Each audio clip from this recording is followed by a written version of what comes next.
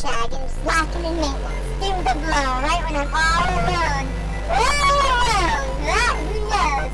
Said hitchhiking is probably the cure for it.